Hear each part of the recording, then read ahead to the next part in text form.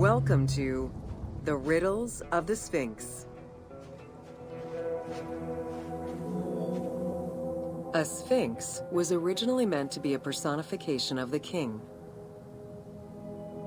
The human head, wearing pharaonic regalia, was fused with the body of a lion, thus sharing the qualities the powerful animal possessed, namely its power, the swiftness of its attack, and its majestic authority.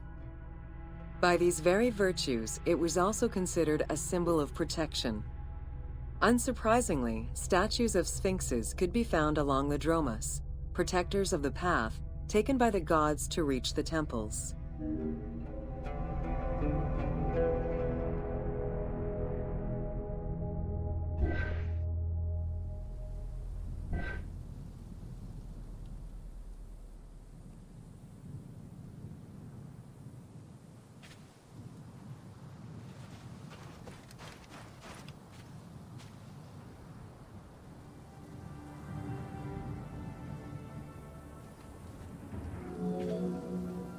A sphinx was originally meant to be a personification of the king.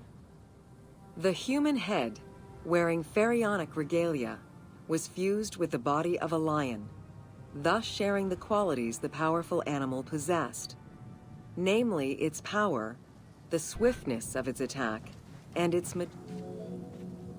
Over the centuries, enthusiasts and historians alike have wondered who built the Sphinx? For what purpose?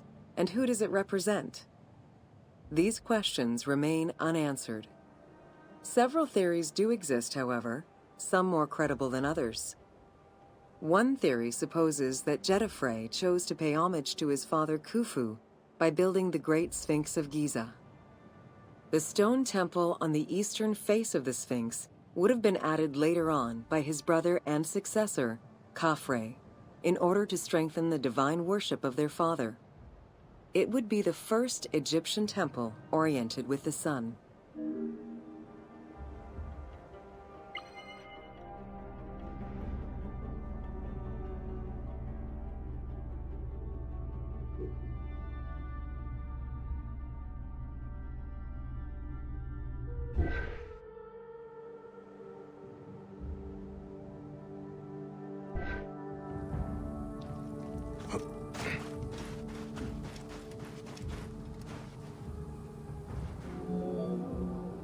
Another theory suggests that the Sphinx was built by Khafre and was meant to represent him.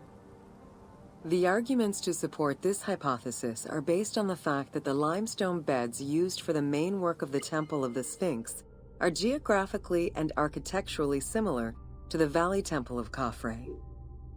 Some believe that Khufu himself built the Sphinx, which was later finished under his successors, Djedefre and Khafre. These arguments are based on the stylistics of the engraving, the typology of the nemes, and the absence of a beard at the time of construction.